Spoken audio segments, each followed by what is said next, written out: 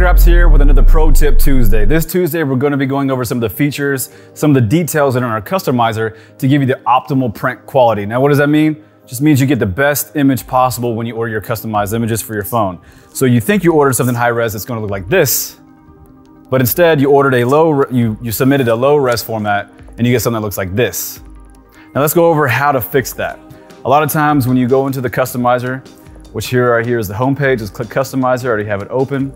We have some images here to go off of. We already see the Fox, as you can see, that high res one has five stars, and the low res one is gonna have one star. So let's go over some supported formats. We have JPEGs, JPGs, JPEGs, and PNGs. Those are the only file formats that are gonna be submitted through Customizer that'll work.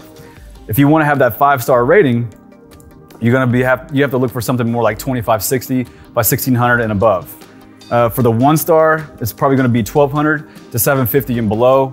That three star is gonna be anywhere in the middle. So let's take it, let's, let's use some examples here. Uh, I went online on Google. That's obviously Valentine's, so you could look through here. One way to find a high res image is go into Tools, under Size, and click Large. Now when you do that, you're gonna be able to hover over it and you can see here, that's gonna be a high res image. It's gonna be a medium res to low res, this is low res. So make sure you find the highest quality possible. DPI is really important as well, dots per inch or pixels per inch, whatever you wanna say. Uh, try to get around 300. Uh, so if you want to do that, you could always just go to royalty-free images, try to find different images for 300 as you see here. Um, and here's our bird that we're going to use for an example. So here's our three that we're going to use for an example. For a high res, we have a 2848 by 2136. High res enough to, to, to be a quality optimal print for my beautiful, beautiful wrap. Uh, right here is our low res, going to be a little cow that's kind of like an icon size, 256 by 256. And then we have our medium res, which is somewhere in the middle where you're gonna get those three stars. So if we go back over to the customizer, let's just go ahead and start loading them up and see what it looks like.